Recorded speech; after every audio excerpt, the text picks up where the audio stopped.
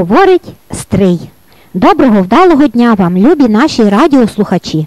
В ефірі чергова передача міської студії радіомовлення Голос Стрия і з вами радіожурналіст Галина Данильців.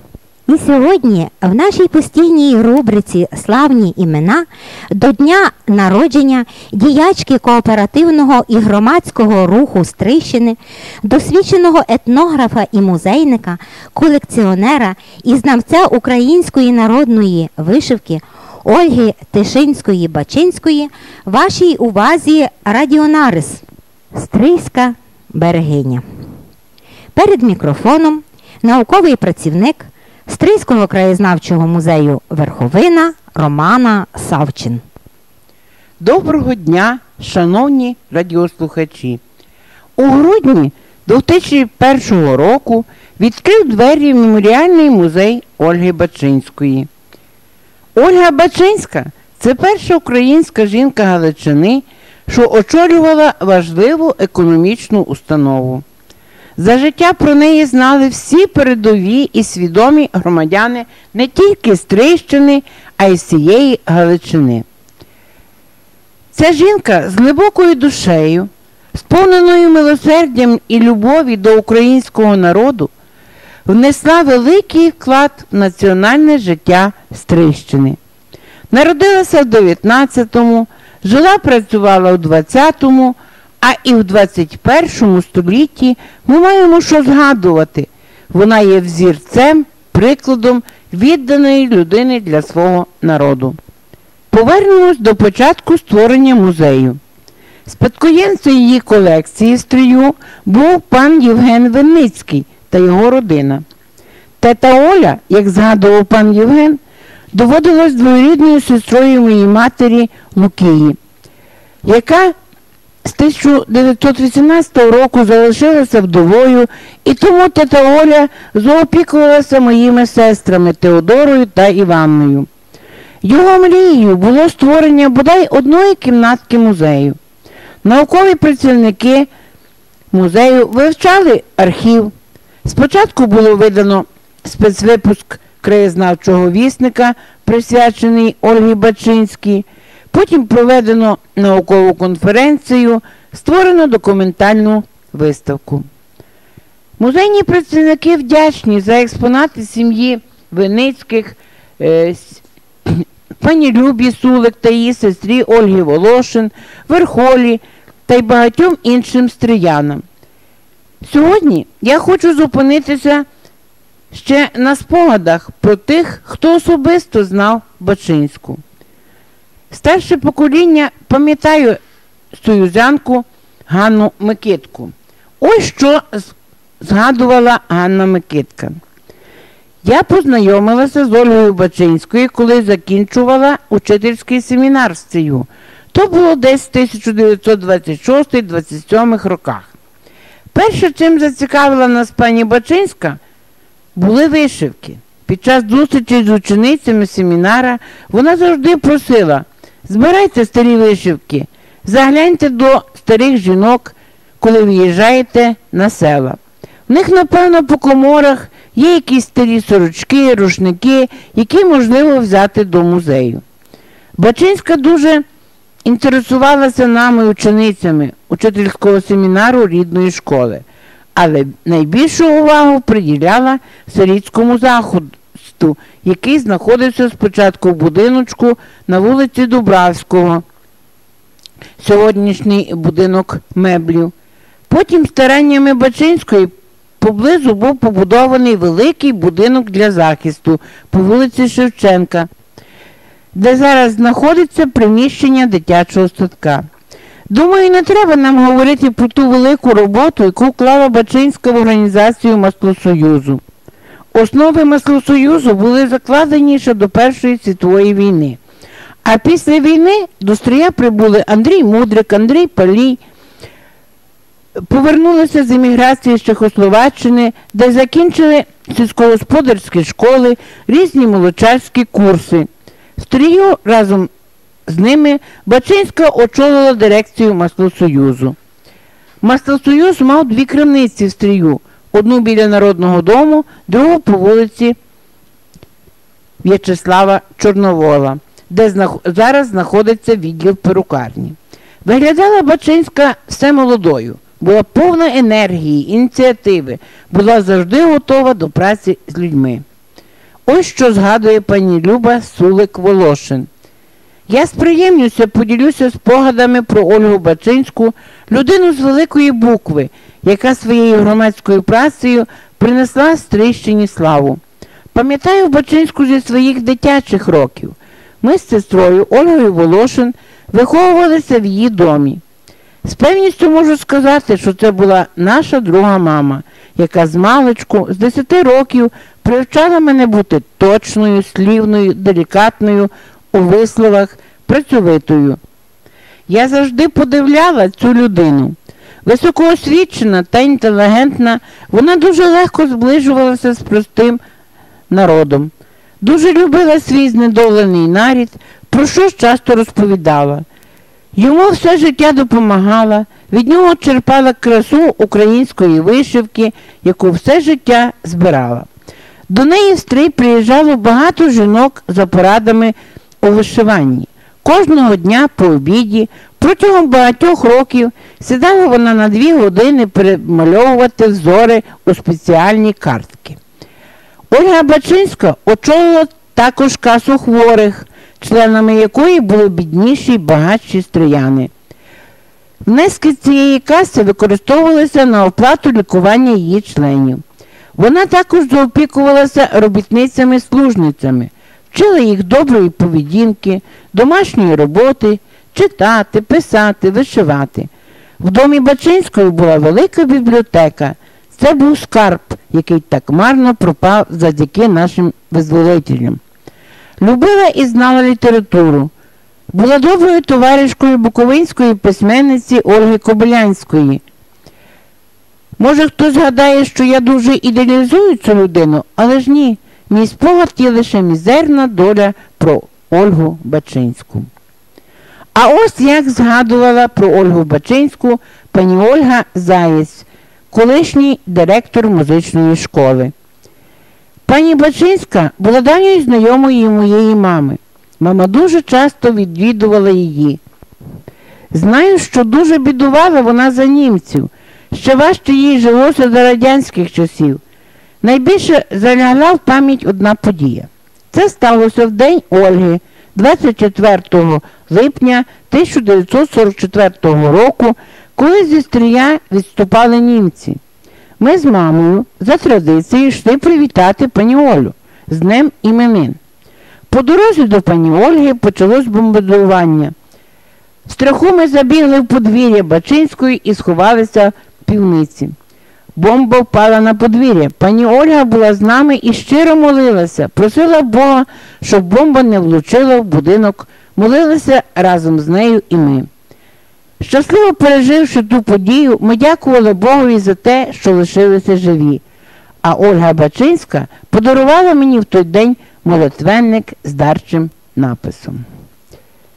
Ось ще один спогад пані Ірини Ольшанської, відомої продовжувачки, можна сказати, традицій Бачинської, вишивальниці, е, голови клубу вишивальниць.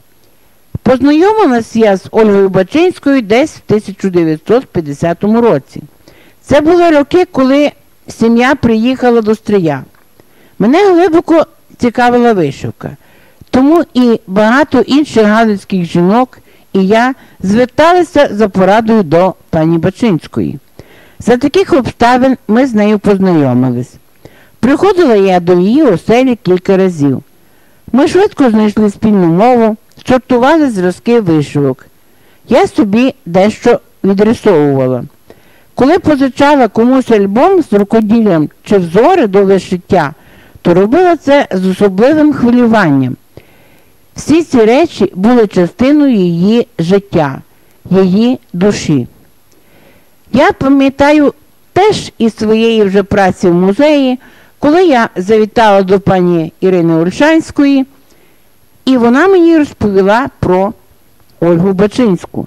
Тоді не було ще такої літератури про Ольгу Бачинську.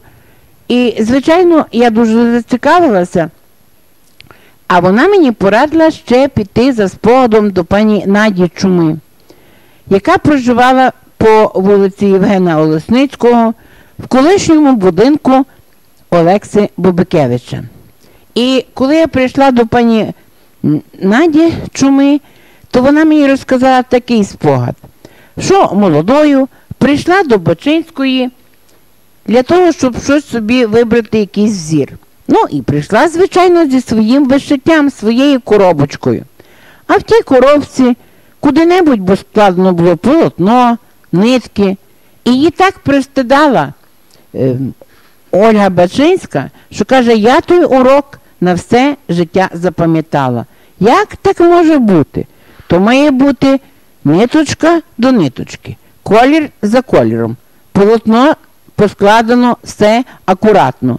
І цієї акуратності Бачинська навчила, і це запам'яталося пані Наді на все життя. А ось ще один спогад Середницької, яка теж деякий час проживала в пані Ольги Бачинської. Прийшла я до пані Ольги Бачинської у 1947 році по рекомендації однієї української пані. І три роки до її смерті винаймала кімнату. Жили ми вдвоє. Я ходила на роботу, пані Бачинська нікуди не ходила. Вдома все сама собі робила. Прала, варила. Часто до неї заходили знайомі, доктор Ольшанський з дружиною, Пелехович, е, теж який працював в торгівлі на той час, адвокат Костецький, пан Лучка, багато священників, які були в підпіллі. Жила в ті роки пані Бачинська дуже скромно. Давала їй держава 9 карбованців пенсії по старості. Пам'ятаю, покликала вона мене одного разу до себе в кімнату і показала велику грамоту в дубовому вінку з нагоди 40-літнього ювілею праці в Маслосоюзі. Ця грамота, до речі, є у меморіальному музеї Бачинської. Замислилась на якийсь час, а тоді каже, що чоловік її Лярій часто любив наголошувати, як прийдуть руски, то будуть тебе на руках носити, бо ти працюєш тільки для народу, для сиріт, для простих служниць. Після цих слів Бачинська додала, нова влада викинула її з власної хати. Лише вихованці сирійського захисту заступилися за нею, писали прохання у різні установи, після чого пані Бачинській виділили дві кімнати в її власному будинку по вулиці Волові, за які вона ще й платила державі. Добре запам'яталась її звички, вставала раненько о 6 годині, дуже охайно одягалася, завжди мала білий комірчик. Хоч і приходило до неї багато знайомих, але родини стрію майже не залишилося. Тільки старенька пані Бабикевич час від часу заходила до неї, або родина Винницьких. Скрутним було її життя, мусила продавати деякі вишивки з колекції. В сьогоднішній час музей Ольги Бачинської, де панує добра аура, став центром культурно-просвітницької діяльності. Тут експонуються виставки. Кожен, Кожного разу, кожного року по дві-три виставки. Проводяться зустрічі, спогади, майстер-класи. Свої творчі здобутки на огляд представляв районний будинок творчості. Таїсія Гайдукевич, машина часу у дитинство акварелі, Марія Тутова, подорож у казку, м'яка іграшка, Лілія Лунич, різдвяна казка, Ірина Тимошенко, візерунки на склі, Оксана Когут, Яворівська іграшка. А ще цілюща і віща полум'я свічі Галини Церковної, це зібрана колекція свічок, Світлана Войтович, вироби з бісеру, Напередодні Великодніх свят завжди є виставка писанок. Ну і не тільки писанок тих, які виготовляли на Стрийщині, а побувала музею і колекція Лемківської писанки, це писанчарки зі Львова. Експонувалася і Сокальська писанка. Проводяться у музеї Бачинської майстер-класи. Свої майстер-класи проводила Ліля Лунич, Наталя Лагоняк, Ірина Тимошенко, Ірина Сікора. А ще стало доброю традицією запрошувати стріян на іменини до Ольги. Бо до життя Бачинська не святкувала у родин, а іменини 24 липня. Я думаю, що стріянам запам'яталася зустріч, яку ми проводили на іменинах у Ольги, зустріч із сестрою Васіяною Гладкою із Святопокровського жіночого монастиря зі Львова, яка презентувала книжку Сестра Дар'я Життя і творчість. Запам'яталася зустріч і із членами клубу вишивальниць, союзянками із Цокаля. Презентуються на іменинах не тільки запрошені гості, але і творчі люди нашого міста Стрия. Суїзянки, члени клубу вишивальниць мали зустріч із Іриною Ханик, яка показувала свої вишиванки. Минулого року Ольга Ямборко, Юля Ханик Соя, молоді особистості презентували свої роботи гобелени. Університет третього віку теж побував на іменинах у Ольги в нашому музеї. Тереза Ланова ділилася своїми спогадами про вишивку, а пан Роман Мазяк презентував роботи своєї дружини. А ще хочу сказати, що наш музей полюбили львів'яни. В нашому музеї побувала Наталя Криничанка. Після цього вона запросила мене на Львів... до Львова на радіо з передачею про Ольгу Бачинську. І львів'яни, напевно, почули. Ну, не напевно, а точно, багатьом запам'яталося і захотілося приїжджати до Львова. Тому майже кожного року група львів'ян, різні групи львів'ян приїжджають до нашого міста і обов'язково хочуть відвідати музей Бачинської. Так було і цього року. Невеличка група львів'ян побувала на екскурсії в нашому місті і музею Ольги Бачинської. Я запрошую всіх стріян до огляду експозиції музею Бачинської та інших цікавих виставок, які експонуються в музеї Бачинської і в інших музеях Стрия. Нагадаю, що в ефірі Стрий ви слухаєте чергову передачу міської студії радіомовлення Голос Стрия. І сьогодні вона присвячена діячці кооперативного і громадського руху, досвідченому етнографу і музейнику, колекціонеру і знавцю української народної вишивки Ользі Тишинській Бачинській. Ольгу Бачинську можна з впевненістю назвати жіночим обличчям кооперації ХХ століття. Діяльність більшості тогочасних кооперативів та організацій налагоджувалася цією наполегливою та відповідальною жінкою. Саме пані Бачинська закликала жіноцтво до активної громадянської позиції у боротьбі за національне визволення, опікувалася сиротами, першою звернула увагу на долю домашньої прислуги і організувала допомогу харчами та ліками українським січовим стрільцям у часи Першої світової війни. Про це згадувала у своєму виступі науковий працівник Стрийського краєзнавчого музею верховина Романа Савчин, яка сьогодні для вас і розповіла про цю непересічну жінку, а також про музей Ольги Бачинської, що діє у нашому місті. А ми додамо до цієї розповіді декілька цікавих штрихів про Ольгу Бачинську. Німецька солідність і витривалість враз із фанатичною любов'ю до всього, що своє і рідне, вплинули на те, що пані Бачинська одна з перших звернула увагу на правдиву красу і високу мистецьку вартість української вишивки. Вказала вона на це не тільки українському громадянству, але й старалася, щоб наша вишивка захопила і чужий світ, який давнішими часами ще так мало знав про українців. Так писав у 1937 році про Ольгу Бачинську часопис Жіноча доля, присвячуючи їй з нагоди 40-річного ювілею громадської і кооперативної праці статтю Поклін громадянці. І дійсно, це справедливі слова, що стосуються великої копіткої праці цієї жінки впродовж усього її життя. А почала цю сподвижницьку збиральницьку працю Ольга Бачинська під час Першої світової війни, коли сім'я Бачинських виїхала зі Стрия до Австрії.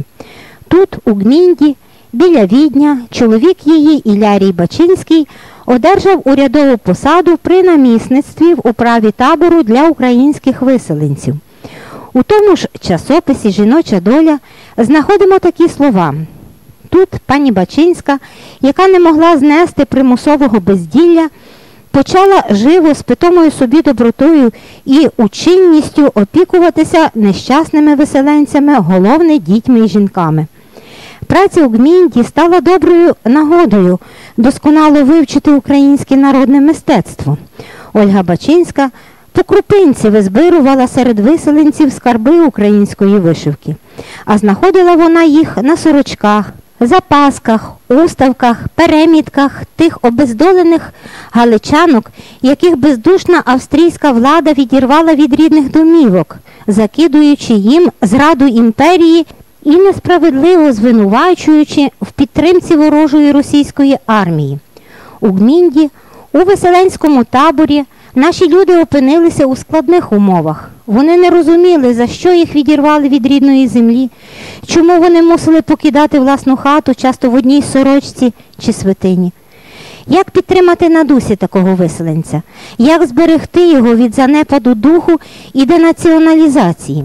Ці складні питання взялося розв'язувати подружжя Бачинських. Заходами пана Ілярія утворено запомоговий комітет для українських збігців з Галичини і Буковини. Цей комітет піклувався виселенцями, дбав про їх освіту, давав їм заняття юридично захищав їх інтереси. Ольга Бачинська зустрілася в таборових бараках з прибитими бідою жінками, представницями майже всіх повітів Галицької волості. Серед них вона і почала свою збиральницьку роботу. Набиралася терпеливості, щоб переконати жінок у важливості тої справи і додати їм снаги у відшитті з пам'яті візерунків, якими славилися їх рідні сторони. Згодом їх уже не треба було спонукати до такої праці. Заохочені жінки жваво взялися до справи, яка давала їм розраду і скромний заробіток.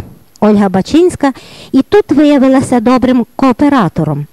Вважала, що за всяку працю навіть у найсприятливіших умовах треба платити. Платила вона не лише за роботу, а й за полотно і нитки, які купувала у той злиденний час деколи і на позичені гроші. Таким шляхом була зібрана добірка, що нараховувала до 400 зразків.